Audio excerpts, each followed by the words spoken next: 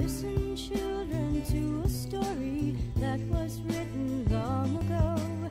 About a kingdom on mountain and the valley below. On the mountain was a treasure buried deep beneath a stone, and the valley people swore they'd have it for their very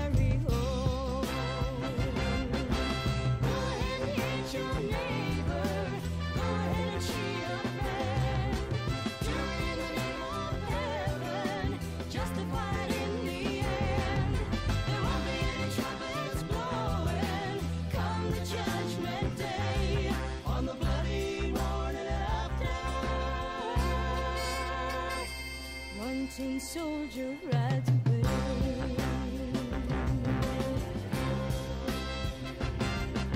So the people of the valley sent a message up the hill, asking for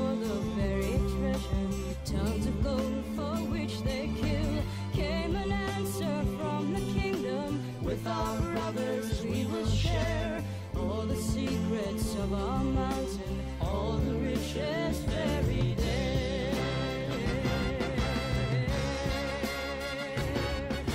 And they killed the mountain people, so they won their just reward.